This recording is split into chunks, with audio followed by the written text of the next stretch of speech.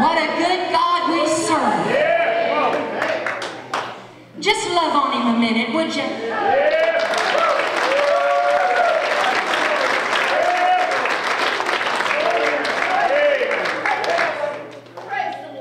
I don't know what it feels like to you tonight, but to me, I feel like I'm in revival.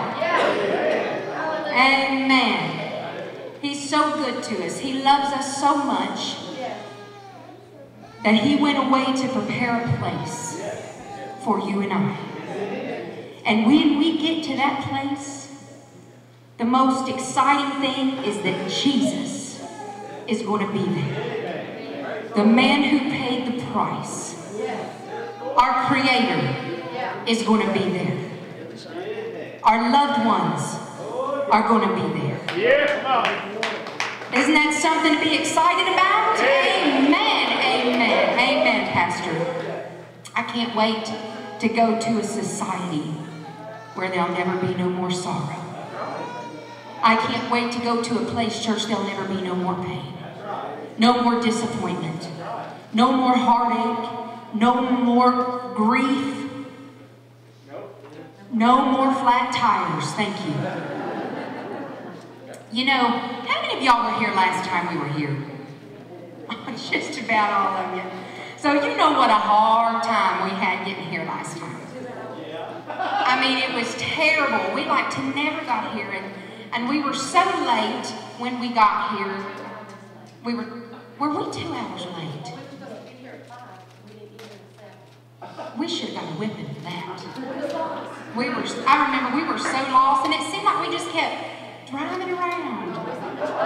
It was like, remember that old movie, The Twilight Zone or whatever? I'm telling my age, but I remember that movie.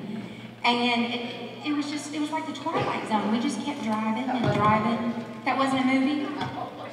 It was a series then, Smarty Pants. But we, we just kept driving and driving and driving and driving. Well, what if I don't want my mic fixed? but um, but we got here so late. I remember y'all were so kind and so gracious, and and you understood what we had been through because we come in, we was a wreck. Uh, Sherry, we was a wreck. And um, we come in and, and we were so, one of the things that tore us up the most is Dad didn't have time to change clothes. Y'all remember his Jesus sandals he had on that night?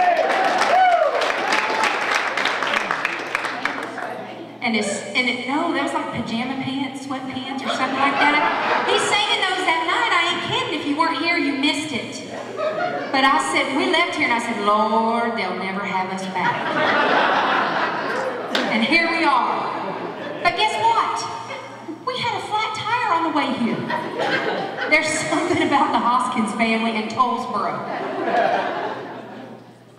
I want to say this too. There, there was, uh, you know, there's another church here in Tollesboro that we sung their uh, homecoming at back in the summer. Sherry, I don't know if you know what church I'm talking about. East Fork. East Fork. What, what, yeah, I guess. and I tell y'all what, he was here that night of the revival, that the man that booked us, and that we sung and we was two hours late. I promise y'all, he called us constantly till we made it to his church. They even sent somebody to meet us and take us to the church. They were tore all to pieces, afraid we wasn't going to get there. Imagine that. Anyway, we are thrilled to be here tonight. And, we're here to worship the Lord with you. We're here to sing something. We're here to say something that's going to bless you some way, somehow tonight. And um, we're not going to take time introducing the group or anything like that. We're going to go straight on uh, with our set tonight. But um, if you would do me a favor, look over at your neighbor on the left. I don't remember if I told y'all this last time he's here or not.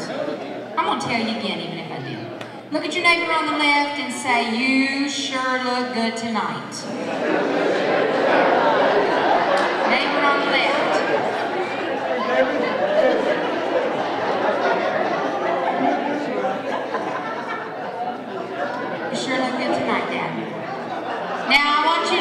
Look at your neighbor on the right. Look at your neighbor on the right. And I want you to say this. I wish you looked half as good as my neighbor on the left. I'm just kidding, y'all. Just kidding.